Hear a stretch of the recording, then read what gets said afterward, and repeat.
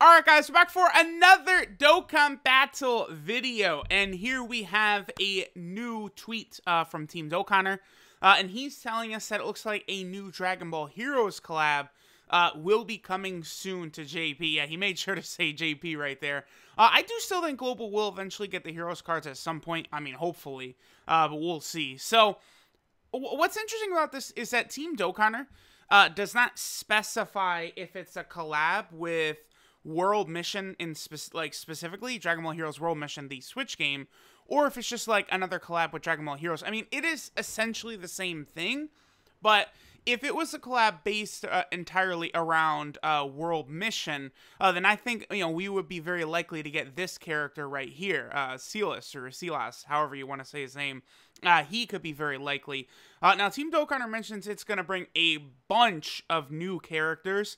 Uh, the timing of his tweet right now tells me this is probably what we're going to get uh, about about at the start of July, uh, and I would suspect that V Jump might have info related to this as well. Uh, we are expecting V Jump. I mean, at this point, any day now, uh, and I'd say there's a good chance it probably will have uh, some of these Dragon Ball Hero characters uh, in there as a possibility. Now, one thing I wanted to do is I wanted to take a look at the history of collab banners that Dokkan has done uh, with the various different Dragon Ball games. Uh, the one notable exception is Xenoverse 2.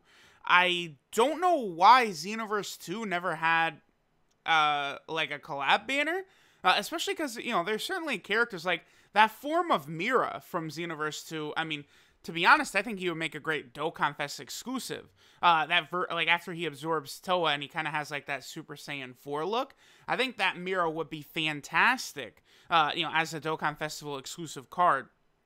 Uh, I think Demigra would make a fantastic Dokkan Festival exclusive card as well, uh, with the various different transformations he has and such, right? So this is the, the Xenoverse banner. Now, funny enough, I couldn't find the JP version of this. Uh, it like DBZ Space actually doesn't go far enough back uh, to get the Xenoverse collab summon. But I mean, the thing with all these collab summons, as we're gonna go through and look at, that is very nice, is they usually only have the new collab uh, units on there. So if it's something you're gonna summon on as like a free to play player or something like that, your chances of getting the characters are very high. Now, this banner in particular is a little interesting in that Towa and Mira have been removed from the pool of characters that are available. I have no idea why. There's a few others that have been as well, like Tech Final Form Frieza, and then there was a, an early, early SCR Super Saiyan Goku that were also removed from the pool of characters. But interestingly enough, Trunks and Demigra uh, they are still there. You could still pull them, but Towa and Mira are not available to be pulled. Uh, I don't think it has anything to do with licensing or anything like that. I just, for whatever reason, they took them off the banners. Maybe they will be scheduled for a Dokkan Awakening at some point, maybe even soon. I, that would be very cool. Uh, next, we have a Dragon Ball Fusions banner. Uh, this one, you know, uh, both the, the last one was, I believe, in June of 2016 for Global, and then this one right here in uh, September of 2016. This is, of course, for JP. Uh, this is a collab with the Dragon Ball Fusions characters. Now, as you guys know, for a long time, these characters were not available, but now they are available. Uh, they're in the general SSR pool. All of these characters have been added to the general SSR pool. You know, Pandel, Karoli, uh, you know, the Chow Man, all of these units are now available. I've rainbowed a few of these.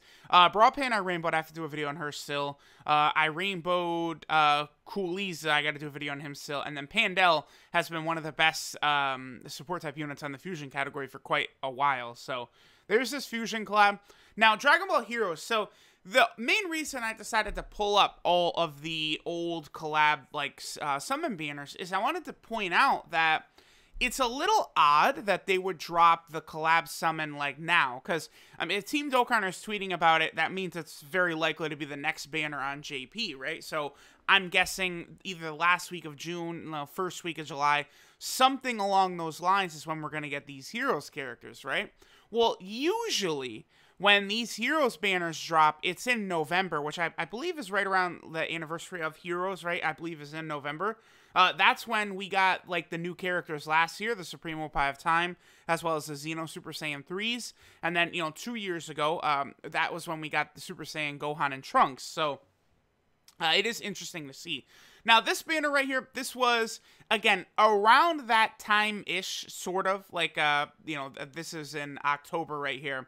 Uh, the same thing, it's only just got these units. Funny enough, this Pikkon unit, I actually don't have full dupes on him. I do on the others. You know, uh, Gotenks, of course, uh, does Dokkan Awaken into Super Saiyan 3 adult Gotenks. I might if I could pull more copies of this guy in the future, I'll probably keep him because right now he's the only Super Saiyan Gotenks, you know, adult there is because he eventually awakens into Super Saiyan 3 adult Gotenks, right? So that's interesting. Uh, then if we keep going, uh, I'll start moving a little bit quicker. Uh, the Fusions banner came back out because uh, a couple of them got Dokkan Awakenings. I believe it was for Karoli, uh, Pandel, and Brapan, and then uh, Barlack got his awakening later on. Janembu, Cooliza, and Shawman still kind of just sitting there, not really doing much nowadays. Uh, then we move on. We have the Arale banners. Now, of course, the Arale banner has been back twice on JP. It only showed up once on Global. Uh, these characters, of course, have never, you know, migrated off of this banner. Uh, and then, you know, the physical Arale in particular is very, very good. Uh, and she really could be useful for that Dokkan Fest Kid Goku team even now. Uh, so it would be nice if they would somehow release these characters back under the general SSR pool or whatever. Arale would become one of the better units you could get from the general SSR pool. And then, of course, this SCR Arale right here is an AoE unit, so that could be helpful. Uh, then we have this banner right here. Now, this one, this is the one time where it, it, it came at sort of an odd time. This banner, the Heroes banner, the same one, this came out alongside uh, Super Saiyan 3 physical Gotenks, because if you guys remember, that is when this Gotenks actually got his Dokkan Awakening, was from Super Saiyan 3 physical Gotenks' Dokkan event. Now, it's not I, they haven't done this with any of these other like fusion, uh, you know, heroes units or fusions units or anything like that, where like a new Dokkan Festival exclusive has actually caused them to get an awakening. But I, I'm sure it could happen again eventually, right? Like some of these characters, like Super Saiyan 3 Gohan, would be very good if he got a Dokkan awakening, like very, very good. Uh, speaking of him, the Super Saiyan 3 team really needs the upgrade, by the way. So any buffs to Super Saiyan 3 units we could get will very, very much help out that team. Uh, as of this moment, I'm not entirely sure if it's possible to beat the Legendary Goku event with it. I've tried a few times, but I, I want to bunker down. I'll probably do a stream maybe over on Twitch, uh, really trying to beat it with that uh, Super Saiyan 3 team. It's very difficult to do. Uh, but here the banner came back. Uh, I believe... Yeah, okay, okay. So it was just uh the how many featured? There's seven. Okay, so now there's seven heroes SSRs right here at this point.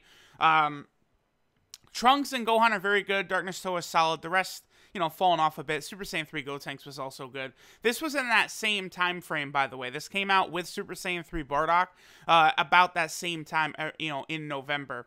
Uh, then next, we had the Dragon Ball Fighters collab banner, which only brought really two Fighters characters on the banner. And then, of course, we had the Android 21 Farmable from the story event. But, you know, another uh, bunch of characters that were added to the general SSR pool. Uh, I still feel like Android 21 would merit a Dokkan Festival exclusive. Like, I think she very easily could have one. Maybe her her evil, like her evil transformed form when she uh, absorbs Cell, that could definitely get its own Dokkan Festival exclusive. I think. Uh, and then here we have the last Heroes banner that has arrived. Uh, this again was back in November. Uh, this one, now these units are very good. Um, it, the Xeno Super Saiyan 3s, very, very solid. That Xeno Super Saiyan 3 Goku in particular is great, a very strong defensive unit. Uh, like Janemba, he has the guard ability active 100% of the time. That's very rare to have. Uh, Supremo Kai of Time is one of the better support type units for a couple categories. Uh, Super Mira was able to infinitely sack his defense, so he's great for the Legendary Goku event. Uh, I did Rainbow Demigra, but I haven't used them uh, much or done a video on him yet. But he gives Extreme types ki, which is helpful. And then Dark Mask King and Black Mask Saiyan uh, they're solid units as well. And then the previous Heroes units were the only unfeatured SSRs on the banner. So Looks like it was a 7% featured rate and a 3% unfeatured rate. Yeah, th this is why uh, I do not have this Pikkon uh, rainbowed yet, but I do have all the others. I remember chasing uh, this Gotenks for a while because I needed one copy of him and I had to get him unfeatured. And I remember pulling, I pulled like 35 Black Mask Saiyans or something like that.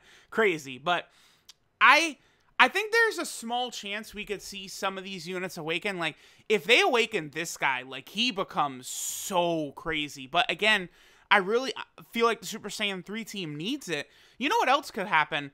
I suppose if they're going to drop these heroes units, they could also drop the global exclusive Super Saiyan 3 Vegetas right now, that could make sense and really give the Super Saiyan 3 category team a nice buff. Uh, now, in terms of what units might come, uh, again, if it's a collab specifically with World Mission, then I think Silas is very possible. He does also have a transformed version over here that looks, you know, looks pretty cool. Again, I could see that as maybe being a Dokkan event. We probably won't get one, but like that's that's such a cool like Dokkan event to kind of switch it up from the normal stuff, right? Uh, Great Saiyaman number three, I think, is a distinct possibility. Uh, that that could be cool. You know, he could be an interesting support type unit for I don't know. I don't know what category. A what if category or something. I don't know. but uh, Great Saiyaman 3 is definitely something that could come. Now, if it's just like a normal Heroes collab and we're just going to get normal banner units, there are a couple in particular I would like to see. Golden Cooler number one is very, very awesome. But again, I like if they're going to do Golden Cooler, I, I got to see him as a Dokkan Festival exclusive. Like, I want him to be like. Remember how good Physical Final Form Cooler was when he first came out? I would love to see Golden Cooler uh, in that same mold, just as good. And again, the Wicked Bloodline team, you know, it, it wouldn't hurt to flesh that out a little bit. You know, give us a good Mecha Frieza, give us a good King Cold, give us a good Chilled. If not, give us Golden freaking Cooler, man. He would be fantastic for the Wicked Bloodline team. Uh, and then, you know, maybe like Enhanced Transformation. There's some other teams where this Cooler, I think, could be very, very good. Uh, and I think him as a Dokkan Festival exclusive, like, Am I am I crazy to think that would sell? Like people would summon like crazy for Golden Cooler. Don't play with me. So like they they got to figure out like I don't know if it's because they're not putting these units on global as to why they don't make them like Dokkan Fest exclusives, but they need to.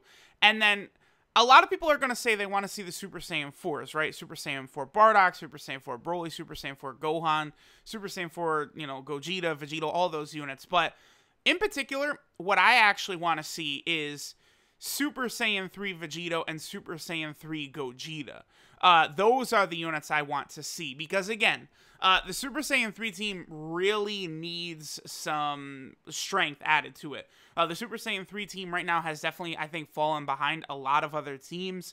Uh, it doesn't help that LR Super Saiyan 3 Goku, like, either he does no damage at all or his defense is super, super low. Like, he always has a net negative with him being out there. Yeah, it's cool. He could do very, very high amounts of damage, but I don't think it works very well uh, with the Super Saiyan 3 team that he's on, where there's not a, a lot of great defensive units around him, right? Like Super Saiyan 3 Bardock can be a very good defensive unit, but he has to super first. So he can't be in the first slot. And then LR Super Saiyan 3 Goku, he also can't be in the first slot because you're very, very rarely going to get his 18 ki super attack in that first slot. So uh, I. I would love to see like a Super Saiyan 3 Vegito Dokkan Festival exclusive give like make him busted, give him counters, all of that. He could be very interesting.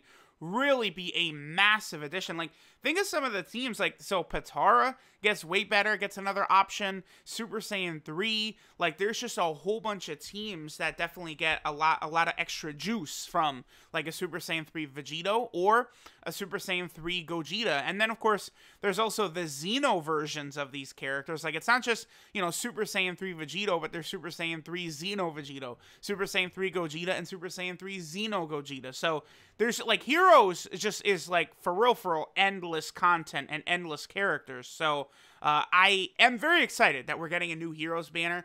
Again, I, I do hope they give us some of the goofier stuff. You know, there's all the like demon patrollers and all that stuff. You know, give us Mira's crazy form. You know, give us Demigra's crazy form.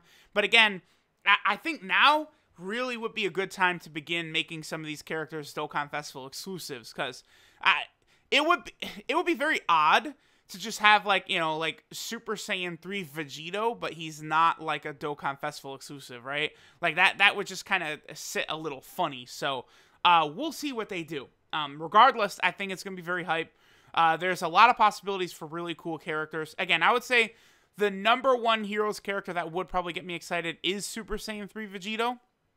uh, just because of, of the the role he would fulfill in game. But like certainly like Super Saiyan 4 Broly, a lot of those characters could be good. Uh, Beat the Avatar, I think is another possibility. We could potentially see Beat be added into the game. A uh, lot a lot of possibilities. So you know, let me know which uh, heroes characters you guys would like to see. Uh, you know, I, I, just put a couple down here that I think would be really really cool. Um, maybe Golden Cooler is not really that realistic since they just dropped LR Full Power Frieza, but I mean, man, him, AGL Final Form Frieza, the physical uh, Super or uh, Second Form Frieza, and now Golden Cooler, like that would be such a massive upgrade to that team. So uh, we'll finish up here. I'm super hyped. Again, I think there's a good chance we will see info related to this in V Jump coming soon in a couple of days. Uh, and it's probably the next banner coming to JP Dokkan. So thanks, guys, for watching. Let me know who y'all want to see in here and I'll catch you guys next time.